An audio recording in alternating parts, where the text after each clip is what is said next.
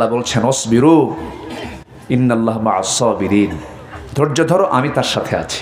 সুবাহান আল্লাহ আমরা ধৈর্য ধরবো, ধৈর্যের পিরামিড হব, জোরে বলি ইনশাআল্লাহ। ইউসুফ আলাহ সাল্লামের কি পরীক্ষা? আল্লাহ আকবার। ইউনুস আলাইসালামের কি পরীক্ষা? আইয়ুবের কি পরীক্ষা? আঠারো বছর অসুখ। তিন দিন অসুখ হলি আল্লাহ, তোমার চোখ কানা হয়েছে নাকি? দেখো না। এরকম বলে না এরকম বলে না? বলে। এত অসুখ তুমি কি দেখো না আল্লাহ? আর আলাইসালাম আঠারো বছর অসুখ। কোনো দিন তিনি অভিযোগ দিলেন না। শুধু একদিন বললেন আল্লাহ পোকাটা তো আমার জিহবায় চলে আসছে। এটা ব্যথা হয়। আমার জিব্বা যদি অচল হয় তোমার জিকিরটা করব কেমনে আল্লাহ?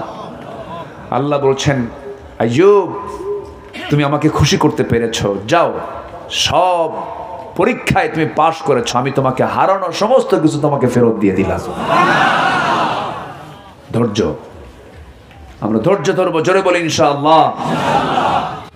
ইউসুফ আলাহ সালাতাম যুবকরা, দেখো, টকবগে যুবক, টকবগে সবচেয়ে পৃথিবীর সুন্দর চেহারাওয়ালা আমার নবীর পরকে ইউসুফ আলাহ সালাতাম একজন সুন্দরী নারী তৎকালীন দুনিয়ার রাজরানী, রূপবতী সুন্দরী নারী। ঘরের মধ্যে তুলে নিয়ে তাকে বলছে, ইউসুফ একটাবার তুমি আমার দিকে তাকালি আমি খুশি, আমার দিকে তাকাও। ইউসুফ বলছেন, তোমার দিকে তাকানো আমার জায়েজ নাই। সুবহানাল্লাহ বলবেন না? তোমার দিকে আমি তাকাতে পারব না। তাকাতেই হবে, দেখো।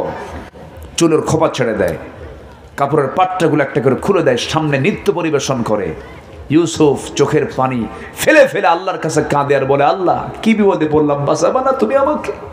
যেরকম সুবাহান কার ভয়? আসতে বলবেন না, কার ভয়? যুবক তোমাকে আলেয়া ডাকবে, নার্গিস ডাকবে, সুইটি ডাকবে, অনেক নারী তোমাকে ডাকবে। তুমি বলবে, ইন্না আমি ভয় করি কাকে? আসতে বলবেন না, কাকে? আসিয়ার মতো মহিলা ফেরাউনের ঘরে থেকে ইমানটাকে টিকে রেখেছেন। সুবহানাল্লাহ বলবেন না? আসিয়া কার ঘরে থেকে? ফেরাউনের ঘরে থেকে ইমানটাকে টিকে রেখেছেন। অসবিরু ধৈর্যের পরীক্ষা দিয়েছেন। ফেরাউন বলছে আসিয়া দিন ছাড়ো। আসিয়া কয় দিন ছাড়লে জান্নাত পাবো না দুনিয়া ছাড়বো জান্নাত ধরবো। সুবহানাল্লাহ বলেন। রাজরানীর দাম কি কম? রাজার বউয়ের দাম কম? আচ্ছা চেয়ারম্যান বড় না চেয়ারম্যানের বউ বড়? হ্যাঁ এই যে ঠিক মতো উত্তর দিছে। হুজুর বড় না হুজুরের বউ বড় থামেন কই? আপনি যত বড় হুজুর হন, আসলাম ভাই, শোনেন। যত বড় হুজুর হন বইয়ের কাছে গেলে কিন্তু হুজুরগিরি খাটে না। যদি কিছু লাগে, তাহলে বলবে, তুমি কত বড় হুজুর আমার জানা আছে, বসো। সব হুজুরগিরি শেষ। কি কথা বলছেন নাই আসিয়া, এত বড় বড় পদে পদ পর পরও আসিয়া বলছেন, আমার স্বামী আমার রাজনের পথ ছেড়ে দিলাম। দুনিয়ার সমস্ত নাজ নিয়ামত ছেড়ে দিলাম। নাকের মধ্যে নাকের মধ্যে জান্নাতের গন্ধ পাচ্ছে, জান্নাত কিনে নেব, দুনিয়া ছেড়ে দিলাম। আসিয়া বলল, তোকে টুকরা করব। তোকে? কি বলে, করাত দিয়ে চিরে দুই টুকরা করব। আসিয়া মুসকে হাসি মেরে বলছেন, আমাকে হত্যার হুমকি দেন, আমি জান্নাতের আশা করি।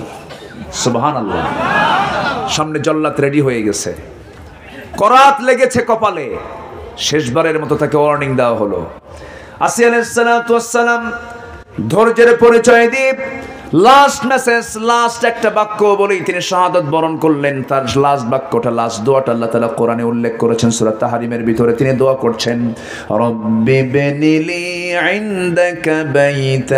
ফিল জান্নাহ ওয়া নাজ্জিনি মিন ফিরআউনা ওয়া আমালিহি। আল্লাহ, তুমি আমাকে বানায় দাও। তোমার কাছে কাকে কাকে বলতেছে? তোমার কাছে মানে কার কাছে? তোমার কাছে একটা ঘর, ফিল জান্নাত জান্নাতের মধ্যে। জান্নাতের মধ্যে তোমার কাছে, তোমার দেওয়ালের সঙ্গে যেন আমার জান্নাতের ঘরটা হয়। কি পরিমাণ আল্লাহকে কাছে টানলে পরে? এই রকম করে দোয়া করা যায়, আসিয়া হাসতে হাসতে দুনিয়া ছেড়ে দিলেন। দুনিয়ার সকলকে বুঝায় দিলেন, ধৈর্যের পরিচয় দিয়ে ইমানের পথে এমন করেই টিকে থাকতে হয়। ও মুসলমানেরা, তোমরা জেনে রেখো, জোরে বলে সুবহান আল্লাহ নাম্বার ছয় হলো, নাম্বার ছয় হলো, লোক দেখানো, অহংকার প্রকাশ করে কোনো কাজ করা যাবে না, অহংকার দেখাবে। ইমানদার না বেঈমানেরা? বেঈমানদের ভিতরে কি থাকে? অহংকার থেকে ইমানদাররা কখনো অহংকারী হয় না। অহংকার আছে যার ধ্বংস, আছে তার বিনয়ী বিনয়ী ভাব আছে যার উন্নতি আছে। তার আমরা বিনয়ী হব না অহংকারী হব। প্রতিশোধ নেব না, ক্ষমা করব। প্রতিশোধ নেব না, ক্ষমা করব। আপনাকে কেউ থাপ্পড় মেরেছে, ব্যক্তিগত আক্রোশ, আপনি তাকে মাফ করবেন। আল্লাহ আপনাকে জান্নাত দিয়ে দিবেন। ব্যক্তিগত বিষয়, কিন্তু দিন নেই, ইসলাম নিয়ে কেউ কোনো কথা বলবে, ছেড়ে দেওয়া যাবে না। এই আপর্ষণ এক্ষেত্রে কি? আপর্ষণ আল্লাহ, তুমি সবাইকে কবুল করো। আমার ভাইয়েরা, অহংকার মানুষকে শেষ করে দেয়। ক্ষমতার অহংকার আছে না নাই? আছে না? ক্ষমতার অহংকার কিন্তু আছে। ক্ষমতার অহংকার দেখিয়ে চলে ফেরাউন শেষ করেছেন কে? ক্ষমতার অহংকার দেখিয়ে চলে আবু জেল শেষ করেছেন কে? এই জন্য তিনটা জিনিস যার মধ্যে থাকবে, তার জন্য সর্বনাশ হবে। নাম্বার ওয়ান হলো যে ব্যক্তি কৃপণ হবে। যে ব্যক্তি কি হবে? কৃপণ হবে। নাম্বার দুই হলো নিজের নফসের খেয়াল খুশি মতো যে চলবে, সে ধ্বংস হয়ে যাবে। আর নাম্বার তিন হলো অহংকার যে করবি, এই তিনটি একটা মানুষের জীবনকে সর্বনাশ করে দেবে। তিনটা জিনিস মানুষকে মুক্তি দেবে কি দেবে? মুক্তি দেবে নাজাদ দেবে এক নম্বর হলো রাগ এবং সন্তোষ। রাগ এবং স্বাভাবিক অবস্থায় যে ব্যক্তির ন্যায় বিচার করবে, রাগে এক বিচার, আর স্বাভাবিকভাবে এক বিচার না। রাগের সময়, সন্তোষের সময় একই বিচার যে ব্যক্তি করবে, আল্লাহ তারা তাকে মুক্তি দিবেন। নাম্বার দুই হলো দারিদ্র এবং দারিদ্র এবং প্রাচুর্য। উভয় অবস্থায় যারা মধ্যম জীবন যাপন করবে, টাকা আছে, বিলাসী হয়ে যাচ্ছে, টাকা নাই, আর পারে না না। সব সময় যে মধ্যম জীবন যাপন করবে, আল্লাহ তালা তাকে মুক্তি দিয়ে দিবেন। নাম্বার তিন হলো গোপন প্রকাশ্য সব অবস্থায় যে বান্দা আল্লাহকে ভয় করবে, আল্লাহ তাকে নাজাদ দিবেন। জোরে বলি সুবাহান আল্লাহ মাহফিল আসলে বিশাল বড় বুজুর্গ হয়, যাত্রায় গেলে আবার বিশাল বড় নাট্যকার হয়। আছে না নাই? এমন লোক আছে না নাই? এগুলো করা যাবে না। তিনটা জিনিস মানুষের মর্যাদা বৃদ্ধি করে।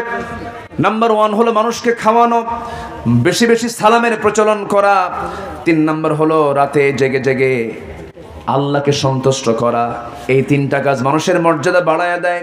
তিনটা জিনিস গুণা মাফ করে তিনটা জিনিস যার মধ্যে থাকবে আল্লাহ তার গুণা মাফ করে দেন। নাম্বার ওয়ান হলো শীতের সময় নিখুঁতভাবে ওজু করা। এক সালাতের পর আরেক সালাতের জন্য অপেক্ষা করা। আর সালাতের জন্য জামাতে নামাজ আদায় করা। এই তিনটা কাজ যে ব্যক্তি করবে, আল্লাহ তালা তাকে তার গুণাগুলো সমস্ত কিছু মাফ করে দেন। জোরে বলে সুবাহান আল্লাহ